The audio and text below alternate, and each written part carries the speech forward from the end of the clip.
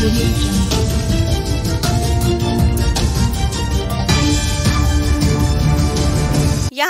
आपको breaking news से आगाह करते चले। थाना समनाबाद की हदूद में दौरान वारदात, पंजाब पुलिस के शेर ने जान की परवाह किए बगैर कातिल को गिरफ़्तार किया। कातिल ने डकैती के दौरान पाँच सिगरेट, फरोश को कत्ल कर दिया था और मौके वारदात से फायरिंग करके निकलना चाहता था। पंजाब पुलिस का ये शेर सिपाही डेढ़ माह के बाद रिटायर होने वाला है और बुज़ुर्ग है। अवाम और पुलिस दोनों ने बुज़ुर्ग सिपाही की बहादुरी को सलाम पेश किया।